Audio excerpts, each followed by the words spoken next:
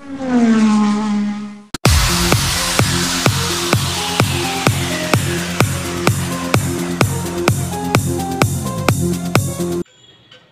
Friends मैं Vitesh from वगन टैक्स और फ्रेंड्स अगर आपके पास वीवो का वी नाइन सेट है और उसका टच टूट जाए अब देखिए कैसे टूटा हुआ है। मेरे पास एक फ़ोल्डर आया हुआ है, उसका टच जो टूट गया है, लेकिन उसका जो रियल कॉस्ट है, जो फ़ोल्डर आप लगवाना चाहते हैं कॉपी लगवाएँगे कि ओरिजिनल की नॉर्मल बीच का। तो आप देखिए वो डैमेज हुआ है वो उसका कितने का आता है मैं आपको उसमें वीडियो के थ्रू बता दूँगा।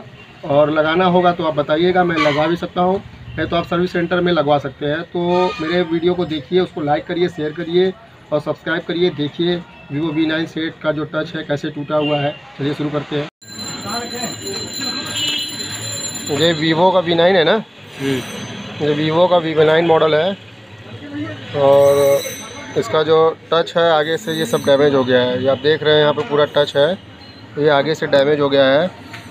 इसको अगर आपको रिप्लेस कराना होगा तो आप इसको टच को भी नॉर्मल रिप्लेस करा सकते हैं। और इसके फ़ोल्डर को भी रिप्लेस करा सकते हैं। इसका जो टच है, अगर आप रिप्लेस करना चाहते हैं तो मार्केट में 500-600 रुपए में ये रिप्लेस हो जाएगा। और अगर आप इसका पूरा फ़ोल्डर लगवाने जाएँगे मार्केट में तो कॉफ़ी फ़ोल्डर अगर आप लगवाते हैं कॉपी फ़ोल्डर आपका लगभग सोलह सत्रह सौ रुपये में आएगा। उसके बाद ओरिजिनल फ़ोल्डर जो आता है, ओजी के नाम से आता है मार्केट में, वो आपका अट्ठाईस सौ रुपये में आएगा।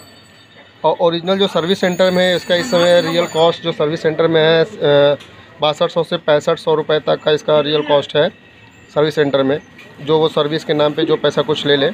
तो आप देख सकते हैं इसका फ़ोल्डर एकदम इनबिल्ट है, ये मेरे सामने भी डैमेज आया हुआ है।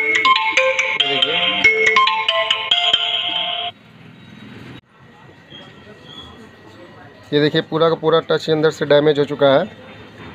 तो अगर आपको इसको लगवाना होगा तो आप इसको देख सकते हैं मार्केट में अपने हिसाब से लगवा सकते हैं, जो आपको समझ में आए वो लगवाइए। ये सेट बहुत ही अच्छा है वीवो वी नाइन है। और ये एकदम आईफोन पैटर्न पे बना हुआ है, इसकी जो लॉकिंग अनलॉकिंग है सब आईफोन की तरह है। तो धन्यवाद दोस्तों, मेरे चैनल अवितेश फॉर्मा का टैक्स सोल्यूशन को देखने के लिए। उसको लाइक करिए शेयर करिए और सब्सक्राइब करिए। थैंक यू दोस्तों।